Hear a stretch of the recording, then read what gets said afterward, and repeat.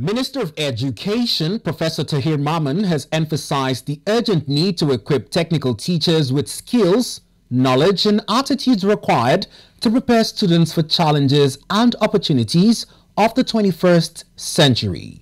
He made the emphasis during the annual sensitization meeting of stakeholders of Technical Teachers Training Program in Abuja. ADBN Education correspondent Edidiong Ibanga tells us more. Education Professor Tahir Mamman underscored technical teachers as bedrock of educational system in skills development, technical and vocational education, and training ecosystem. He reaffirmed commitments to ensure teachers' empowerment to deliver high quality education that fosters innovation, creativity, and entrepreneurship.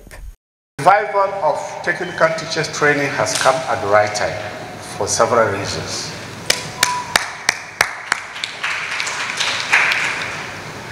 One, this ministry has set eyes on having a balance, suitable balance between regular conceptual education and skills-based education of our children. Speaking further, Professor Mamman urged collaboration and importance of stakeholders' engagement to enhance skills of technical teachers. It is our plan to review holistically some of the institutions now which by name only answer technical schools.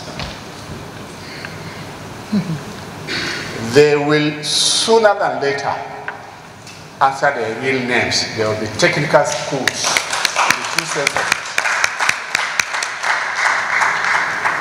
We have already instructed the district bodies that fund, especially tertiary education, form, to rechannel resources from this year to equipping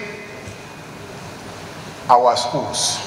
The events with the theme Developing 21st Century Technical Teachers Preparing for the Future serves as a platform for robust discussion, innovative strategies, and exploring best practices to enhance capacities of technical teachers.